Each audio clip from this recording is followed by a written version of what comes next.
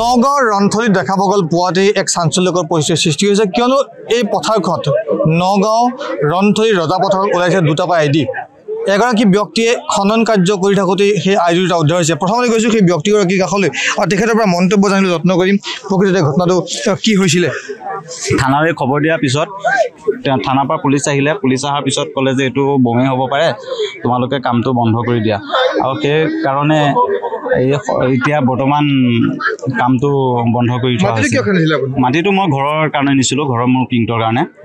পূৰ্বতে ইয়াত বিভিন্ন একাংশ একাংশ লোকে কৈছে যে যিহেতু আলফাৰ ঘাটি আছিল আলফাই সংস্থাপন কৰি মানে পুতি থোৱা বুলি সন্দেহ প্ৰকাশ কৰে নেকি? হয় সেইটো সন্দেহ কৰোঁ। কেনেকুৱা? পৰিৱেশটো আগত কেনেকুৱা আছিল? আগত পৰিৱেশটো আমি তেতিয়া চাই জন্ম হোৱা নাছিলোঁ। আমি শুনাহে পাইছোঁ যে ইয়াত আগতে আলফাৰ ঘাটি আছিলে বুলি।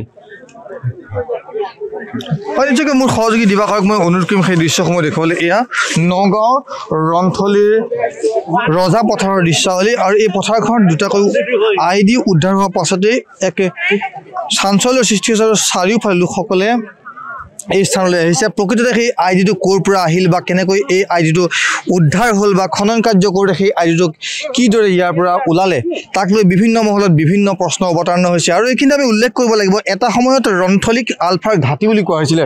আৰু সেই ঘাটি বুলি কোৱা ঠাইত হয়তো এটা সময়ত আলফাই সংৰোপণ কৰিছিল বা ইয়াতেই লুকুৱাই ৰাখিছিল সেই আই ডিসমূহ আৰু এই মুহূৰ্তত আৰক্ষীৰ লোকসকল আছে আমি আৰক্ষীৰ লোকসকলৰ ভাষ্য ল'বলৈ যত্ন কৰিম। প্ৰকৃততে এই আই ডি সম্পৰ্কে নগাঁও আৰক্ষীৰ সদৰ আৰক্ষী চকী ভাৰপ্ৰাপ্ত বিষয়াগৰাকী আছে আমি তেখেতৰ পৰা জানিবলৈ যত্ন কৰিম। এই মুহূৰ্তত আপোনাৰ কাষলৈ আহিছোঁ। আচলতে এই আই ডিটো সম্পৰ্কে আপুনি কি ক'ব? একচুৱেলি এতিয়া আমি এইটো আই ডি বুলি বা কিবা বম বুলি নকওঁ যেতিয়ালৈকে আমাৰ এক্সপাৰ্টসকল আহিব তেওঁলোকে আহি কি কয় সেইটো চাব লাগিব প্ৰথমতে। মানুহে সন্দেহ কৰিছে যে এইটো বম বুলি। আমিও দেখা পাই এনেকুৱা এটা সন্দেহ কৰিছোঁ ধৰক। তো এতিয়া তেওঁলোকে অহাৰ পাছত চাওঁ এক্সপাৰ্টে কি কয়।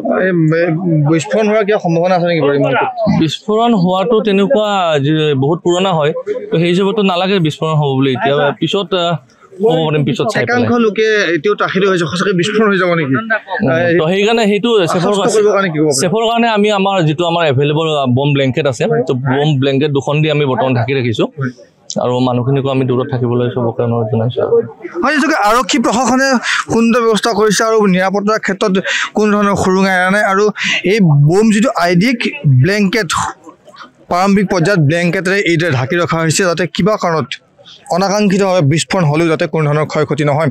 আৰু সমান্তৰালকৈ লোকসকলক যথেষ্ট দূৰত্বত ৰখা হৈছে যাতে ইয়াৰ বিস্ফোৰণ অনাকাংক্ষিতভাৱে যদি বিস্ফোৰণ হয় কোনো ধৰণৰ যাতে কুঠাঘাত বা কোনো ধৰণৰ অসুবিধাৰ সৃষ্টি নহয় তাৰ কাৰণে ব্যৱস্থাৱলী কৰিছে আৰক্ষী প্ৰশাসনে মোৰ সহযোগী দিবাকাৰে সেই দৃশ্যসমূহ দেখুৱাই আছে। আৰু এই মুহূৰ্তত আমি সংবাদকৰ্মীসকল আছে আমি আপোনাৰ কাষলৈ আহিছোঁ যে পুৱাৰে পৰা আপুনি এই বিষয়টোৰ লগত জড়িত হৈ আছিলে আৰু সেই বিষয়টোৰ লগত জড়িত হৈ থকাৰ পিছত একাংশ সংবাদকৰ্মীসকলে এইদৰে লাগি আছে আৰু মোৰ সহযোগীয়ে দৃশ্যসমূহ দেখুৱাইছে। আমি আপোনাৰ কাষলৈ আহিছোঁ পুৱাৰে পৰা আপুনি সংবাদকৰ্মী হিচাপে জড়িত হৈ আছে এই বিষয়টো সম্পৰ্কে কি ক'ব?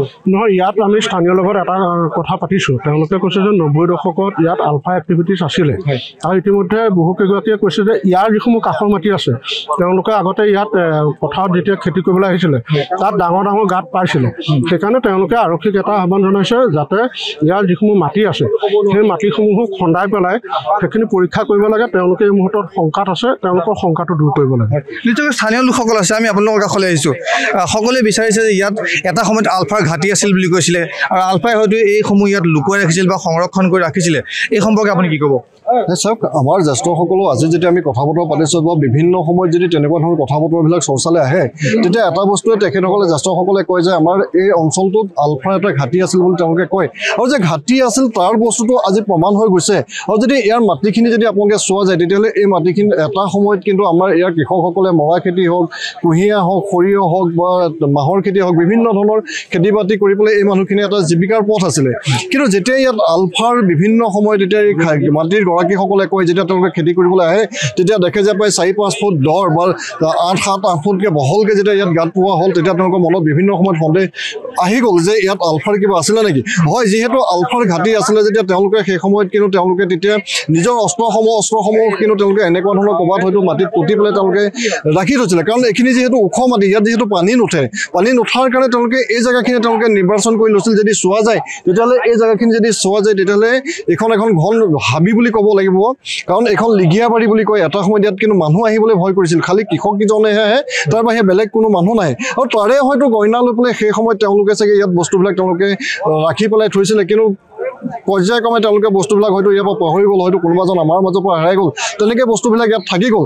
কিন্তু এতিয়া কথা হ'ল যিহেতু মানুহখিনিয়ে এতিয়াও ইয়াত কৃষি কৰ্মৰ লগত এতিয়াও জড়িত হ'ব পৰা নাই সেইকাৰণে আমি নগাঁও পুলিচ প্ৰশাসনক এটাই আহ্বান জনাব বিচাৰিছোঁ যে এই মাটিখিনি আপোনালোকে তন্ন তন্নকৈ পৰীক্ষা কৰক।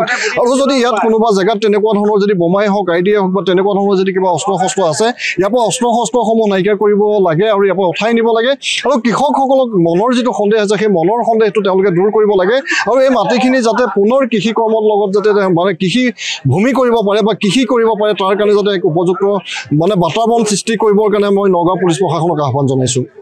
এয়া আছে স্থানীয় লোকসকলৰ ভাষ্য। প্ৰত্যেকে বিচাৰিছে এটা সময়ত ঘন হাবি জংঘল আৰু ওখ ঠাই হোৱাৰ বাবে আলফাই হয়তো নিৰ্বাচন কৰিছিল। ইয়াত অস্ত্ৰসমূহ বা মৰণাস্ত্ৰসমূহ আৰু বোম আদিবোৰ ইয়াত সংৰক্ষণ কৰাৰ বা ইয়াত সুৰক্ষিত কৰি ৰখাৰ।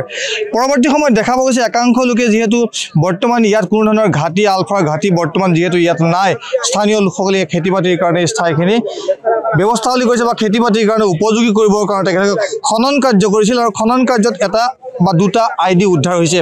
এতিয়া স্থানীয় লোকসকলৰ এটাই দাবী আৰক্ষী প্ৰশাসনৰ ওচৰত যে এই ঠাইসমূহ সংৰক্ষণ কৰি অৰ্থাৎ এই ঠাইসমূহ পৰ্যবেক্ষণ কৰি চৰকাৰ প্ৰশাসনে ব্যৱস্থা কৰিব লাগে। এগৰাকী কৃষক আছে আপোনাৰ কাষলৈ আহিছোঁ।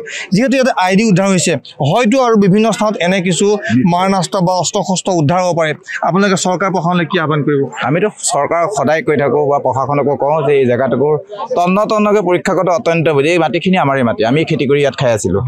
এটা সময়ত এই মাটি ভয় খাইছে। নাই নাই শুনক। এই মাটিখিনিৰ পৰা খেতি কৰি আমি বছৰটোত বেছিভাগ মানে আমাৰ এই খেতি পইচাই আমি খাব পৰা অৱস্থাত আছিল।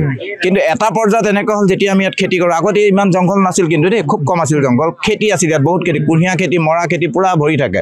আৰু সেই খেতিতলীলৈ যেতিয়া আমি তাত ডাঙৰ ডাঙৰ গাঁত পাওঁ যেতিয়া একেটা সময়ত আলফাটো অলপ কমানে কমি কমি গৈ আছে তেতিয়া তাত আমি যেতিয়া খেতি কৰিব তেতিয়া মস্ত মস্ত গাঁত পাওঁ। আৰু গাঁত পোৱাৰ পিছত আমাৰ সন্দেহ হয় যে ইয়াত কিবা নিশ্চয় আছিল চাগে।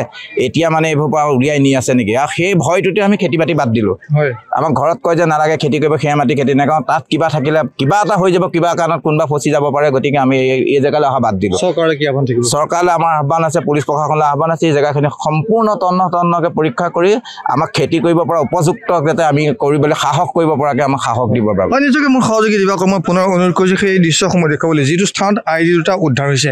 আৰু একাংশ কৃষকে এই সময়ত মন্তব্য কৰিছে যে এই খেতি পথাৰখনত খেতিৰে নদন বদন হৈ আছিল কিন্তু ক্ৰমান্বয়ে দেখা পোৱা গৈছিল। মাজে সময়ে ইয়াত কিছু দ গাঁতৰ সৃষ্টি হৈছিল। আৰু সেই দ গাঁতসমূহ কোনে কেনেকৈ ক'ৰ পৰা সৃষ্টি কৰে সেই তাক লৈ বিভিন্ন সময়ত প্ৰশ্নৰ অৱতাৰণা হৈছিল আৰু একাংশ সন্দেহ কৰিছিল যে পূৰ্বে আলফাই হয়তো পূৰ্বে আলফাই ইয়াত সংৰক্ষণ কৰা সেই অস্ত্ৰ শস্ত্ৰসমূহ মাজে মাজে আহি ইয়াৰ পৰা গাঁত খান্দি উলিয়াই লৈ যায়। সেই কাৰণে কৃষকসকলে ত্ৰাসিত হৈ ইয়াৰ পৰা খেতি কৰা ক্ৰমান্বয়ে বাদ দিবলগীয়া এটা পৰিস্থিতি হৈছিল। প্ৰত্যেকে এটা আশা কৰিছে এই সম্পূৰ্ণ মাটিখিনি এটা পৰ্যবেক্ষণ হ'ব লাগে আৰু চৰকাৰীভাৱে জৰীপ কৰি ইয়াত যদি সঁচাকৈ মৰণাস্ত্ৰ আছে সেইসমূহ উদ্ধাৰ কৰি কৃষক ৰাইজৰ বাবে উদ্ধাৰৰ ব্যৱস্থা কৰিব লাগে। কৃষক ৰাইজক যাতে কৃষিভূমিসমূহ সংৰক্ষণ কৰাৰ ব্যৱস্থা কৰি দিব লাগে।